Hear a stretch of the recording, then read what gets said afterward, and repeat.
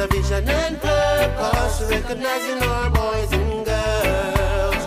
I am the inspiration, youth shaping the world. A leader doesn't need big words or fancy speeches to lead a nation, but a leader needs a vision for a better future. Good day, students, ladies and gentlemen. My name is Reshak Bernard. I am a 15-year-old grade 10 student of Holland High School in the parish of Trelawny. I pride myself in striving for excellence in all that I do. Today, I present myself as a candidate for the position of Vice President for the National Secondary Student Council Region 3.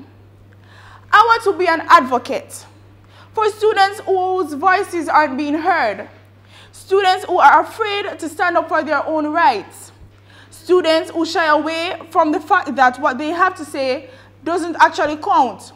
So don't see me as your next vice president, but see me as your next vice president, the voice of the students, a president who will make dreams and hopes become a reality a vice president who will liaise with governmental and non-governmental organizations to promote the interests of students and their general welfares.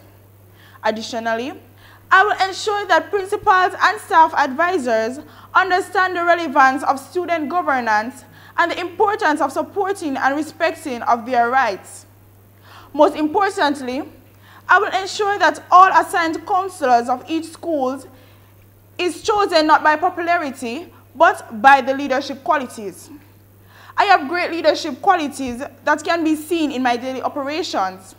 I am a team player, confident, respectful, responsible, and intelligent. I know that some of you may be wondering why seek such an important position at such a tender age. Well, to inform you, age doesn't determine where you go or what you can do.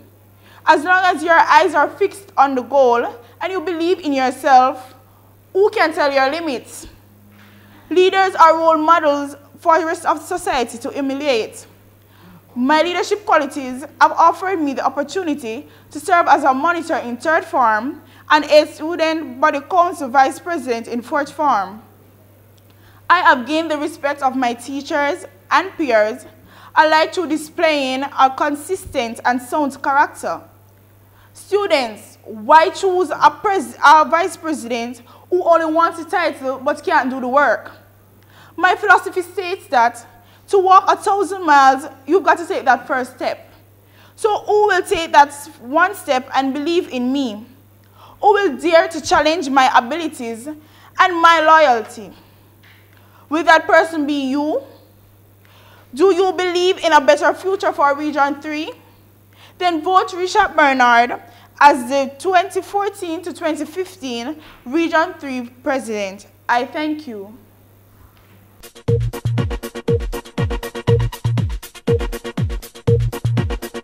Do I plan to assist schools that doesn't have a peer student councils is to visit those schools individually, see why, what is the problem as to why there isn't any student council available.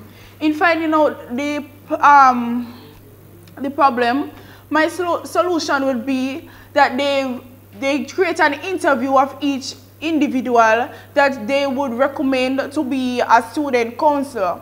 If that person doesn't maintain leadership qualities, then that person cannot take the role of a student council representative.